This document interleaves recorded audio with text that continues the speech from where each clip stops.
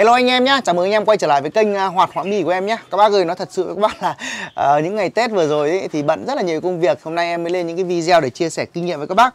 Thì hôm nay nhân tiện có một người bạn thuần con chè than này các bác nhé Thì uh, hôm nay sẽ chia sẻ với các bác về cách thuần thuần chè than và cách xích chân các bác nhé uh, ờ, Có nhiều bác thì uh, không thích cái cách thuần như này. Nhưng mà em cũng uh, chia sẻ lên đây. Hy vọng là cái cách này sẽ giúp ích được cho bác các bác phần nào các bác nhé thì uh, việc đầu tiên của anh em thuần chè than ấy thì bây giờ ngoài tiệm nó bán rất là nhiều những cái lồng như này các bác nhé những cái lồng như này này thì anh em à, mua một cái lồng như này. Về anh em chuẩn bị cho em thì trước tiên em nói về con chim đã. Con chim thì cái việc đầu tiên của anh em muốn thuần con trời than ấy thì đầu tiên là con chim nó phải cám cứng và thứ hai là con chim nó khỏe mạnh các bác nhé. Thì anh em mua trời mộc về anh em thuần thì thuần nó cũng rất là nhanh thuần các bạn cái cách này cũng khá là hiệu quả. Nhưng anh em làm đúng cách thì con chim nó sẽ không bị đau và sẽ không bị uh, Ờ, nó sẽ không bị ảnh hưởng đến con chim các bác nhé thì đây là cái lồng uh, trần này và thuần này các bác này.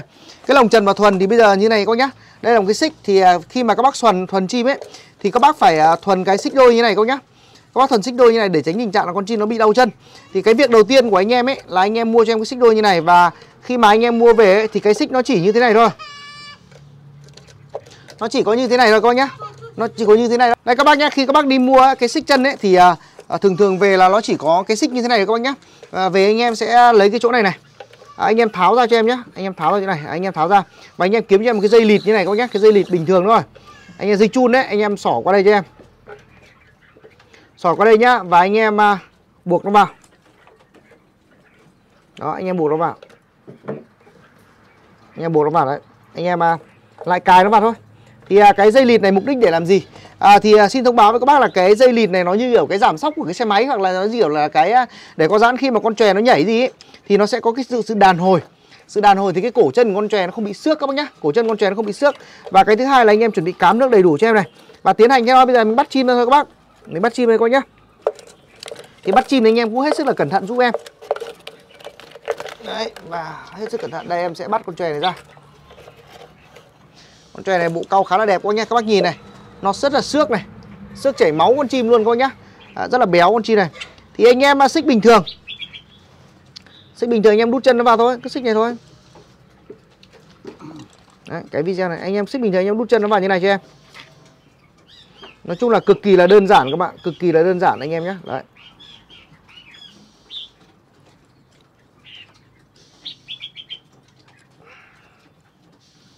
Nói chung là cái này nếu mà có em vừa quay vừa làm nên là có người quay.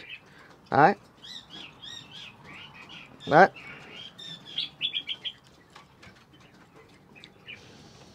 Đấy, anh em xích vào như này. Khi mà anh em xích xong, anh em kiểm tra cái chỗ này nó lỏng này. Tránh tình trạng các bác xích ờ, nó phải lỏng lên, lỏng xuống này nha các nhá. Đấy. Tránh tình trạng anh em mà mà mà mà xích nó chặt quá là cái cổ chân nó sẽ khó di chuyển. Và cái thứ hai là cái xích này các bác này.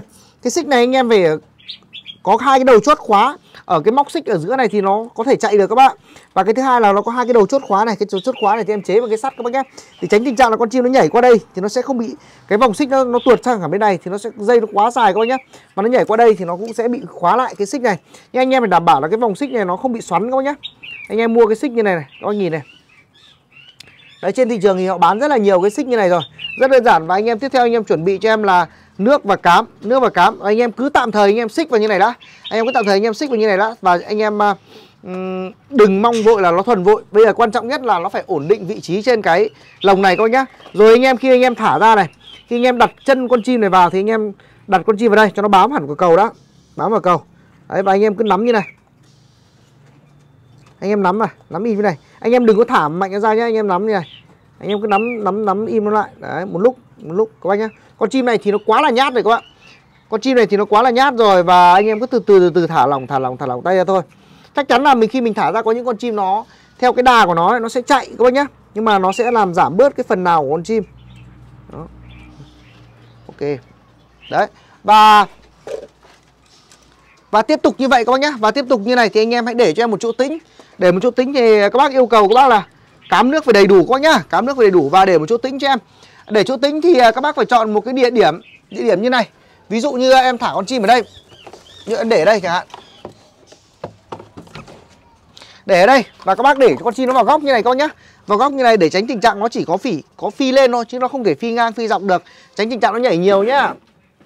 Đó anh em để tạm chỗ đây. Mình uh, cố định nó vào đây đã. Từ từ nha các bác nhá. Đây em thả ra thả ra nó sẽ phi các bác nhá. Thả ra nó sẽ phi này. Rất là khó đấy các bác không không đơn giản đâu xích một con chim như này ấy. thì à, em đảm bảo với các bác luôn nếu mà xích như này ấy, thì à, chỉ một thời gian ngắn thôi là con chim nó cũng sẽ thuần tương đối và rất là đẹp. Đấy khi nó nhảy ra như này nhá anh em nhá. Khi mà con chim nó nhảy em em cầm ra đây thôi. Khi mà con chim nó nhảy ra như này ấy, thì các bác cứ kệ nó. Cứ kệ nó một lúc nó khắc lên. Một lúc khắc lên các bác nhá khi mà đói nó khắc tự lên các bác nhá. Đấy nó nhảy kệ nó nhưng mà nó sẽ không bị hỏng chân đâu bởi vì là nó có cái dây chun này này. Nó có dây chun này nó nhiều cái lò xo ấy làm con chim nó sẽ hồi lại. Còn anh em cứ yên tâm nếu nó nhảy như vậy ấy, thì nó chỉ nhảy được một vài lần thôi. Đây các bác nhé đây là con chim mà em để như này rồi. Em để như này rồi các bác cứ kệ nó. Bây giờ nó nó đang rất là sợ rất là hoảng nên anh em phải à, à thật sự à, từ từ nhé các bác từ từ từng bước từng bước một chúng ta sẽ làm quen với nó dần. Thì à, hôm nay cái video em mà chia sẻ với các bác nó chỉ vậy thôi hoặc là anh em có thể treo lên nhé anh em có thể treo lên. Treo lên và nếu nó có bị treo như này nha anh em nhé con chim nó có bị treo như này thì anh em kệ nó nhá. Anh em kệ nó anh em cứ để im cứ để im đấy.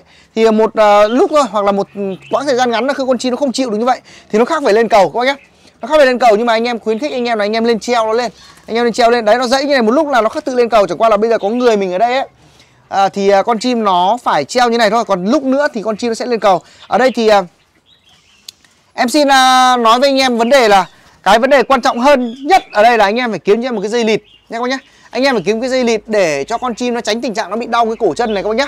Nếu như anh em làm được cái việc này ấy, thì em đảm bảo với anh em luôn là cái uh, cái con chim nó sẽ không bị đau chân. Thì cái clip hôm nay à, việc đầu tiên là như vậy. Anh em cứ thả sâu thả cống nước vào đây ăn và để cho nó một chỗ tĩnh hoặc là anh em treo lên cái xà. Thì em xin phép là dừng clip ở đây.